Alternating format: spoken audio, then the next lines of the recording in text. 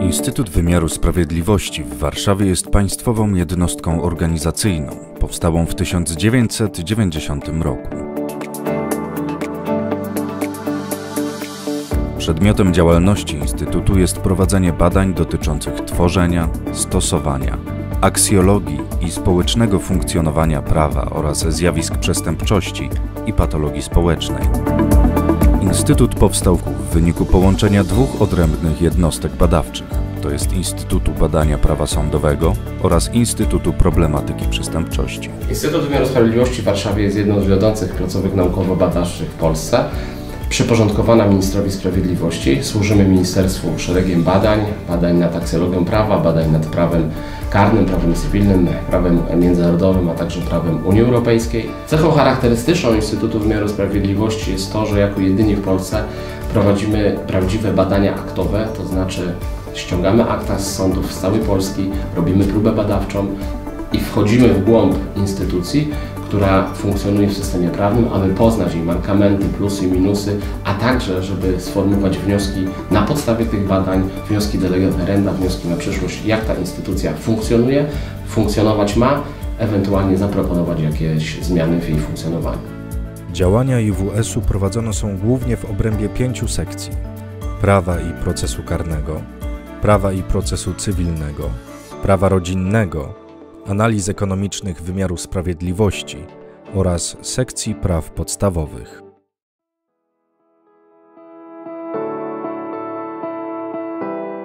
Sekcja prawa i procesu karnego to niewątpliwie jedna z większych jednostek naukowych Instytutu Wymiaru Sprawiedliwości w Warszawie.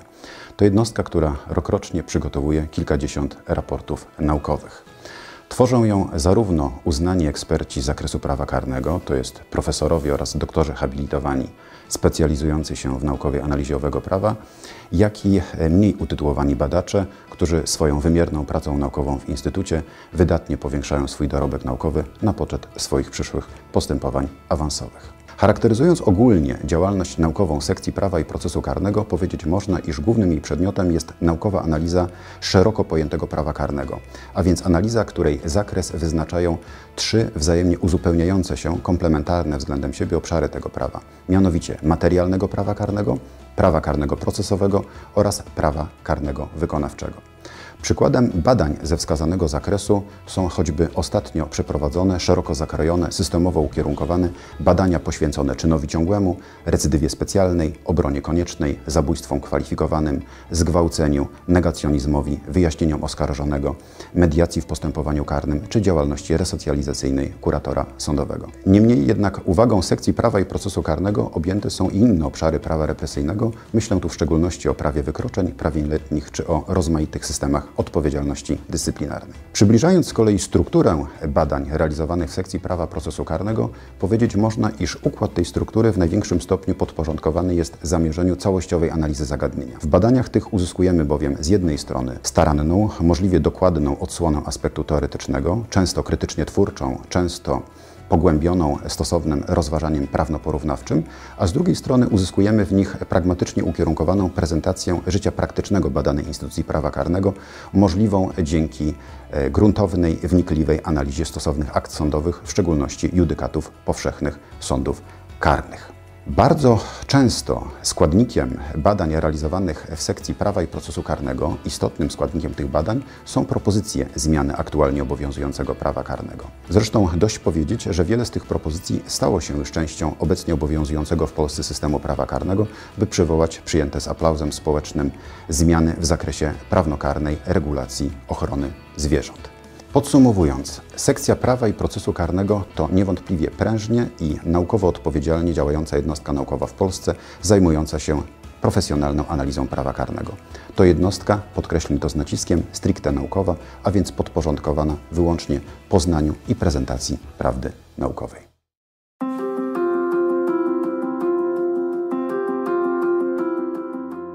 Sekcja Prawa i Procesu Cywilnego to zespół badawczy wieloosobowy, skupiający naukowców zajmujących się problematyką z zakresu nauk prawnych, a szczegółowo prawa cywilnego, ale także to zespół praktyków, którzy ze względu na wykonywane zawody prawnicze analizują szczegółowe problemy dotyczące takich dziedzin jak prawo pracy, prawo upadłościowe, prawo restrukturyzacyjne, prawo własności intelektualnej, prawo nowych technologii. Ponieważ tematyka badań jest sprzężona ściśle z procesem legislacyjnym, Istotne jest to, by metoda badawcza, jaką posługujemy się, nie była tylko metodą formalno-dogmatyczną. Średnio rocznie prowadzimy około 40 bardzo szerokich badań, przy czym więcej niż połowa to są badania planowane, e, takie, do których przygotowujemy się bardzo gruntownie, selekcjonując akta i to są akta kilkuset bardzo, często kilkuset spraw z różnych apelacji, co oznacza, że badacz przegląda, przygotowując raport z badań, często po kilka czy kilka kilkanaście tysięcy stron dokumentów.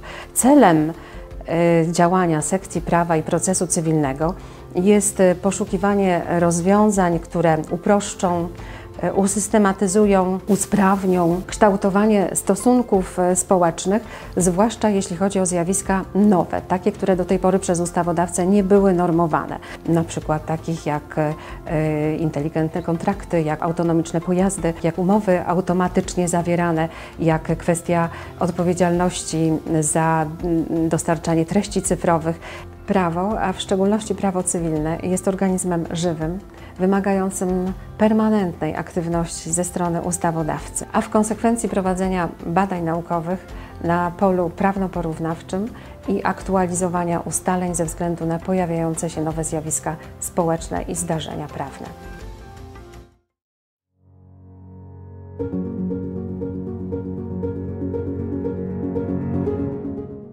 Sekcja prawa rodzinnego została powołana w Instytucie Wymiaru Sprawiedliwości z uwagi na rosnące zainteresowanie badaniami empirycznymi z zakresu prawa rodzinnego w praktyce wymiaru sprawiedliwości. Ministerstwo wciąż prowadzi prace legislacyjne, powstają projekty ustaw, których formułowanie wymaga tego rodzaju wsparcia. Również e, w wymiarze ogólnokrajowym prowadzenie polityki prorodzinnej e, wymaga zainteresowania praktyką funkcjonowania wymiaru sprawiedliwości w sprawach rodzinnych. W związku z tym w pracach sekcji koncentrujemy się na badaniach aktowych dotyczących działania sądów rodzinnych w sprawach rodzinnych. Badamy sprawy z zakresu prawa małżeńskiego związane z zawarciem małżeństwa, sprawy rozwodowe, sprawy z zakresu władzy rodzicielskiej, przysposobienia czy opieki. Przykładowo opracowaliśmy szczegółowe raporty dotyczące problemu odbierania dzieci z rodziny w związku z przemocą w rodzinie, czy raporty dotyczące palącego problemu prawa rozwodowego, jakim jest orzekanie tzw. Tak pieczy naprzemiennej. Pracownicy naszej sekcji podejmują również inne tematy mieszczące się w zakresie działania sądów opiekuńczych, na przykład z zakresu prawa medycznego. Podejmowane są również tematy dotyczące ubezwłasnowolnienia. Zajmujemy się również opiniowaniem projektów ustaw przygotowanych przez Ministerstwo Sprawiedliwości, jak również formułujemy takie projekty. Wysoki poziom merytoryczny prac naszej sekcji gwarantują wybitni specjaliści w niej zatrudnieni. Od lat pracownikiem Instytutu Wymiaru Sprawiedliwości jest pani profesor doktor habilitowana Elżbieta Cholewińska-Łapińska oraz pan doktor Maciej Domański. Planujemy rozszerzać działalność naszej sekcji, angażując w jej pracę e, wybitnych specjalistów zewnętrznych oraz poszerzając krąg pracowników.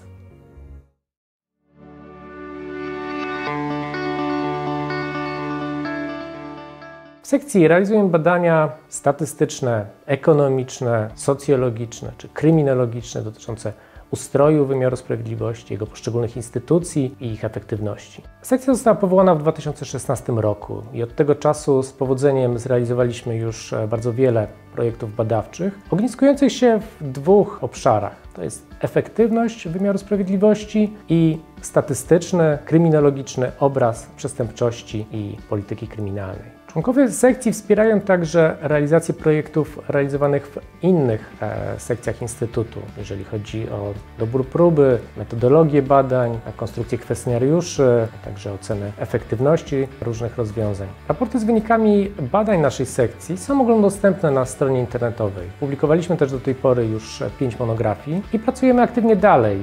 W tym momencie realizujemy badania dotyczące nadzoru e, prewencyjnego, przestępstwa niealimentacji, kar ograniczenia wolności i efektywności mediacji w postępowaniach sądowych. Kolejne publikacje są w przygotowaniu. Planujemy także kolejne badania dotyczące przestępczości ludzi starszych czy e, obrazu statystycznego wymiaru sprawiedliwości e, w Polsce na tle innych państw Europy.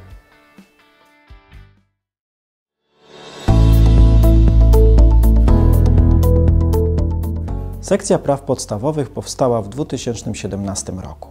Wszyscy członkowie sekcji są jednocześnie pracownikami wyższych uczelni publicznych, przez co mają bardzo bogate doświadczenia naukowe, potwierdzone stopniami doktora habilitowanego czy doktora nauk prawnych.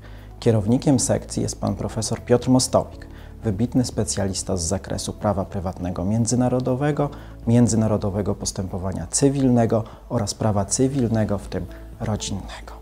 Badania sekcji skupiają się na prawach podstawowych, tak w ujęciu porządku krajowego, zwłaszcza Konstytucji Rzeczpospolitej, czy też w ujęciu źródeł prawa tworzonych pod auspicjami organizacji międzynarodowych. Analizy prowadzimy wokół praktyki orzeczniczej organizacji instytucji międzynarodowych, sądów, trybunałów, w tym Trybunału Praw Człowieka czy Trybunału Sprawiedliwości e, Unii Europejskiej. Badania te dotyczą w szczególnym zakresie aksjologii systemu prawnego, podstawowych zasad porządku prawnego, krajowego, międzynarodowego czy europejskiego, zwłaszcza w obszarze praw człowieka, jak również zagadnień ustrojowych organów i instytucji odpowiedzialnych za ochronę praw człowieka czy godności ludzkiej. Badania nasze kończą się przygotowaniem raportów uwzględniających szerokie badania prawnoporównawcze, w tym przygotowywanych we współpracy z innymi sekcjami Instytutu. Ponadto przygotowujemy opinie prawne ad hoc na bieżące potrzeby procesu legislacyjnego. Dodatkowo organizujemy i koordynujemy seminaria naukowe czy przygotowujemy publikacje książkowe w wydawnictwie naukowym Instytutu Wymiaru Sprawiedliwości. Wszystko to pozwala mieć nadzieję, że badania sekcji praw podstawowych mogą przyczynić się do poprawy jakości stanowienia i wykładni prawa w Polsce, a przez to budowania dobra wspólnego.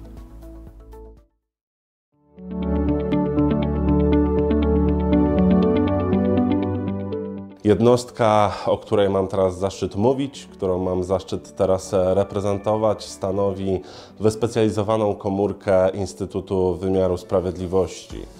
Głównym zadaniem Centrum Analiz Strategicznych e, jest e, wypracowywanie, tworzenie, analizowanie średnio i długookresowych strategii w obszarze działalności Instytutu Wymiaru Sprawiedliwości. W Centrum Analiz Strategicznych e, zajmujemy się badaniem tworzenia, stosowania, aksjologii i społecznego funkcjonowania prawa zjawiska przestępczości i patologii społecznej. Koordynujemy i monitorujemy pracę o znaczeniu strategicznym oraz badawczym w zakresie kształtu polskiego porządku prawnego, funkcjonowania wymiaru sprawiedliwości w Polsce, ale także w innych krajach, co docelowo ma doprowadzić do tego, żeby ustawodawstwo w Polsce było coraz lepsze. W ramach e, działalności Centrum Analiz Strategicznych e, podejmujemy współpracę międzynarodową, w tym z uznanymi zarówno w skali e, europejskiej, jak i światowej jednostkami, instytucjami badawczymi. Do tej pory w ramach prowadzonych przez nas badań udało nam się podjąć współpracę między innymi z następującymi podmiotami. Harvard Business School, Stanford Research Institute, Massachusetts Institute of Technology, China Europe International Business School, IESE Business School, University of Stavanger oraz z Instytutem Prawa Porównawczego imienia Ferenca Medla w Budapeszcie. Pragnę Państwa wszystkich serdecznie zaprosić do odwiedzenia strony internetowej Centrum Analiz Strategicznych Instytutu Wymiaru Sprawiedliwości, do zapoznania się z powszechnie dostępnymi tam analizami produktami, raportami, e, badaniami, e, które powstały w ramach prowadzonej przez naszą jednostkę działalności.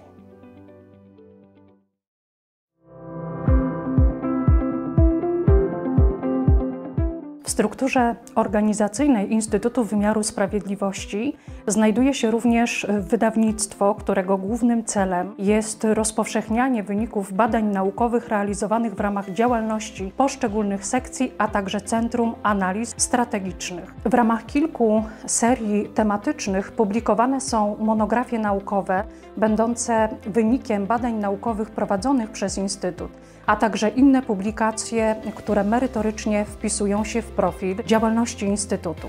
Wydawnictwo Instytutu Wymiaru Sprawiedliwości jest wydawnictwem wpisanym na listę wydawnictw punktowanych, publikujących recenzowane monografie naukowe. Pod opieką merytoryczną pracowników naukowych Instytutu Wymiaru Sprawiedliwości wydawany jest również kwartalnik Prawo w działaniu.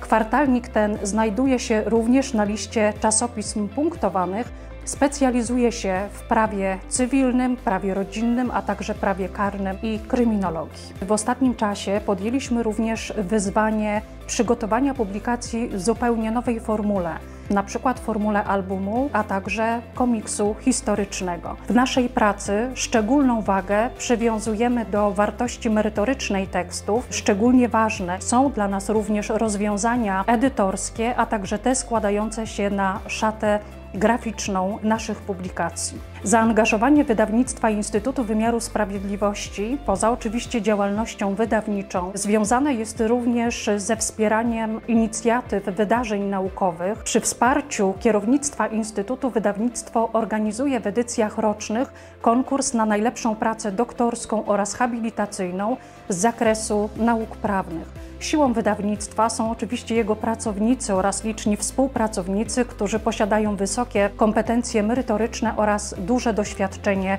w pracy wydawniczej. Naszym głównym celem, naszym głównym założeniem jest regularne zwiększanie oferty wydawniczej, zróżnicowanej merytorycznie i kształtowanej wyborem aktualnych i ważnych z punktu widzenia praktyki zagadnień prawnych. Planów na przyszłość Instytutu Wymiaru Sprawiedliwości to ciągły rozwój Instytutu. Stawiamy na współpracę międzynarodową, z której czerpiemy wiele doświadczeń, wiele bardzo ważnych wniosków wypływa z tej współpracy. A także chcielibyśmy cały czas poprzez nasze badania ulepszać system prawny, który jest bardzo skomplikowany, a wszelkie badania dotyczące instytucji w nim funkcjonujących należy odbierać jako coś dobrego, coś pozytywnego dla nas wszystkich, dla naszej ojczyzny, dla naszego dobra wspólnego.